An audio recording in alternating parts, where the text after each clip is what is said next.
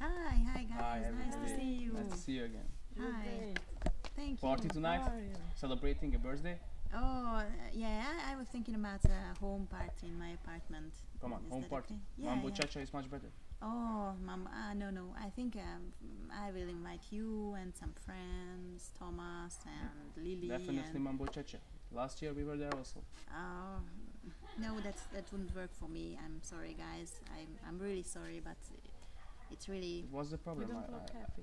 no. Um, yeah, I've lost my job.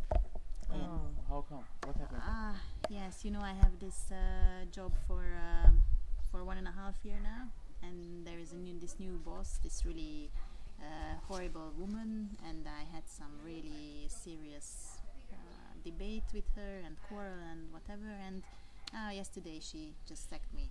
So that's the thing that I, you know, I have this uh, mortgage on the house and on that little apartment. So I'm really sorry, guys, but now I And how do you feel?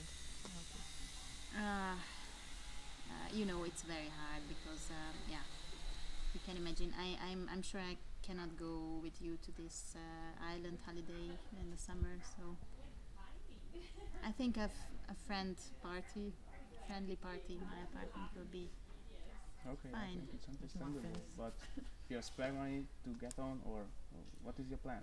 What are you gonna uh, I don't know I think I have to ask from my parents again and it feels really really? But don't worry, you're gonna find a new job, definitely. I So hope better so. one. I hope so thank you guys for your support Oh,